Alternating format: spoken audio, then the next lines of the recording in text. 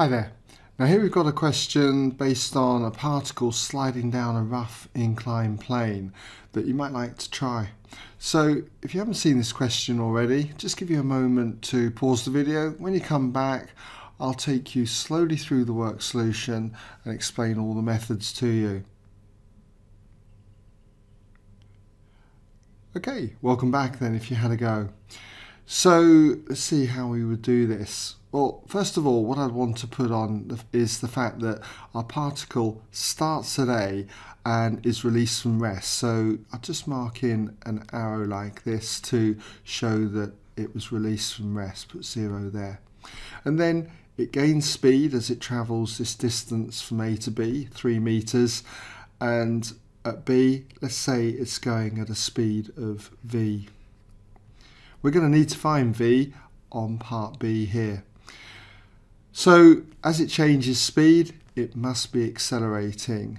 Okay, so just marking a double arrow there and we'll call that A, A meters per second per second.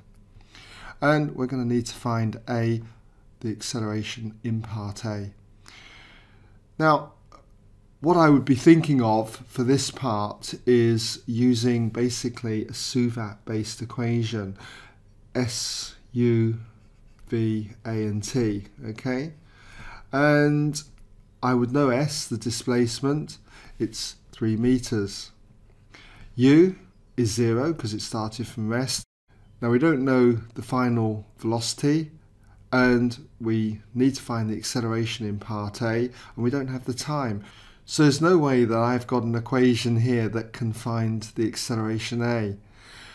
So the only way I can do it is by considering using force equals mass times acceleration, Newton's law of motion, and I can get that by looking at the motion down the plane. So I'm going to need to consider the forces acting on the particle. So let's just say we've got our particle somewhere between A and B, okay, we'll just put it there and the forces acting on the particle will be its weight acting downwards. We know that has a mass of m, so the weight will be mg, mg newtons. There'll be a normal contact force from the plane, so mark that in there as r, r newtons. Now, it's a rough plane, and as it slides down the plane remember friction opposes motion. So friction is going to act up the plane. And friction is always equal to the coefficient of friction mu times the normal contact force if it is sliding. And it is okay? So it's reached its maximum mu r we know that mu, the coefficient of friction, is a half. So what I'm going to do is just say that this equals a half r newtons.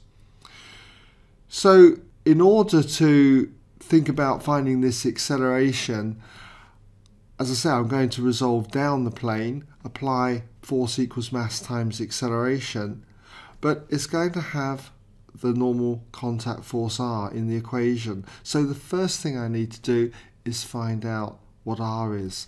And we do that by resolving perpendicular to the plane.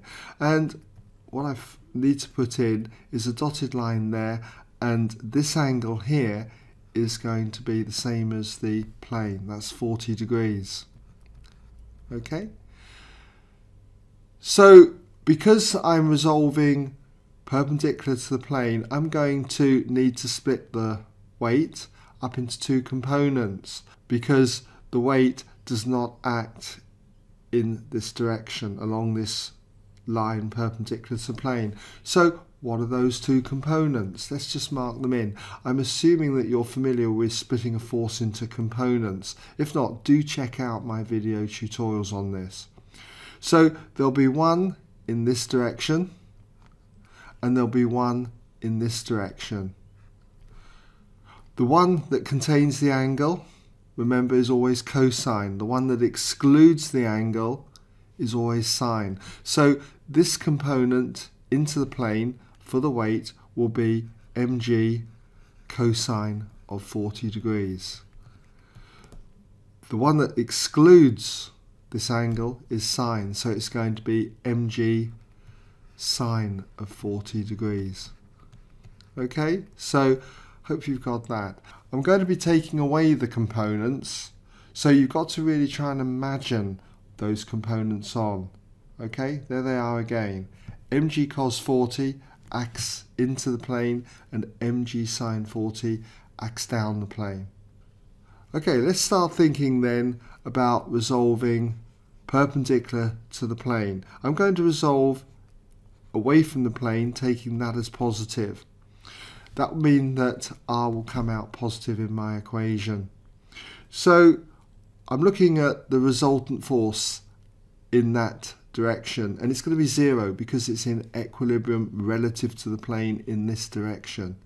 Okay, so therefore we've got all of r acts away from the plane the frictional force is at right angles to it, so it has no effect. Then we've got to think about the weight. Remember the weight can be split into two components.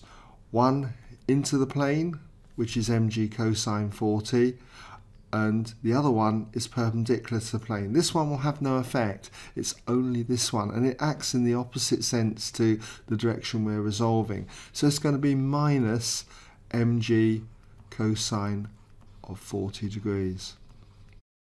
And because the particle is in equilibrium, as I said earlier, in that direction, it's going to equal zero, that resultant force. So therefore, if we rearrange this, R will equal mg cosine of 40 degrees.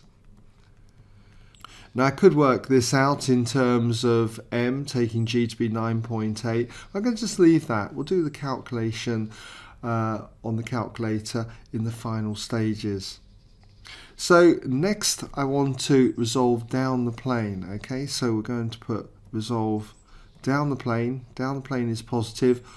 Always resolve in the direction of acceleration, which is down the plane. Okay, so what have we got? Well, if we bring back those components again, you can see that we've got all of mg sine 40 degrees, the component of the weight down the plane. Okay, so that's going to be in the positive sense. So we've got mg sine 40 degrees. Remember, the component of the weight into the plane has no effect. It's perpendicular to this direction. So the only other force we've got is the friction, which opposes the motion. So that's going to be minus, because it's in the opposite sense to what we've got here, minus mu r, half r. But I know that r is mg cosine of 40 degrees. And this will be equal to the mass times the acceleration because it's now accelerating in the direction down the plane. So mass is m and the acceleration is a, what we have to find. Now I can see that m is in every term, so I could cancel it out as it's a common factor. So we'll divide through by m, and that leaves us with the acceleration a. So let's just border that off there. So if you take G as 9.8, make sure your calculator's in degrees mode, you should find that therefore A turns out to be 2.545 and so on.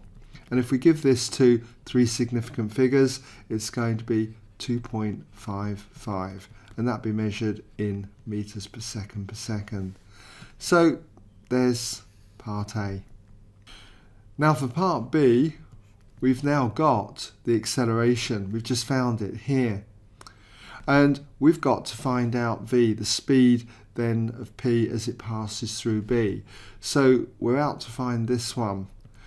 So we need an equation that doesn't involve t. And that equation from those variables there is going to be v squared equals u squared plus 2as. Okay? Now, all we've got to do is substitute our values in. We know that u is 0, so it just leaves us with v squared equals 2as. Or v, okay, would be equal to the square root of that. So v would equal the square root of 2 times the acceleration a, which we've just seen is 2.545 and so on. And that's multiplied by s, which is 3. And if you work this out, you should find you end up with 3.908 and so on. And giving this to three significant figures, it's going to be 3.91 meters per second, okay, to three significant figures, 3SF for short. Okay, so I hope that's given you some idea anyway, if you were stuck on how to do that.